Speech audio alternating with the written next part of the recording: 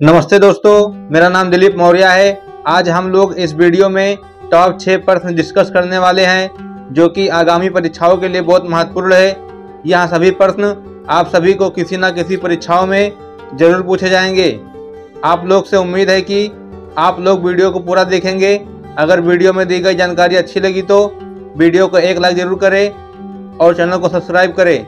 तो चलो शुरू करते हैं।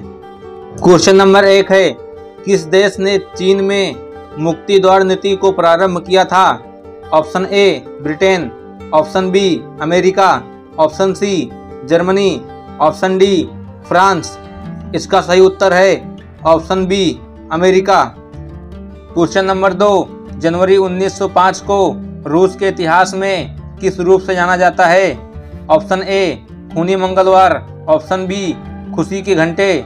ऑप्शन सी खूनी रविवार। ऑप्शन डी श्वेत पत्र दिवस।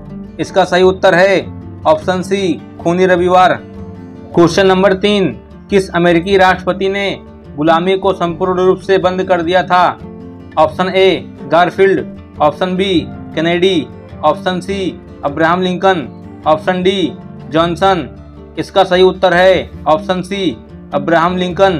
Question number चार, किस प्रधानमंत्री के शासन में बांग्लादेश का जन्म हुआ था?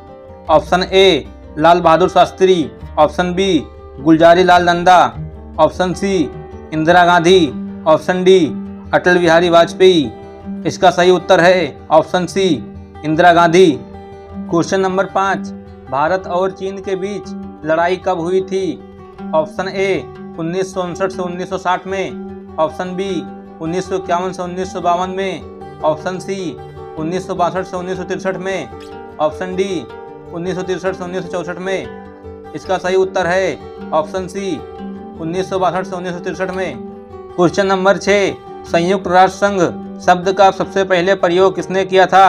Option A, Churchill. Option B, Stalin. Option C, Chiang Kai Shek. Option D, Roosevelt. इसका सही उत्तर है ऑप्शन डी, रूजवेल्ट।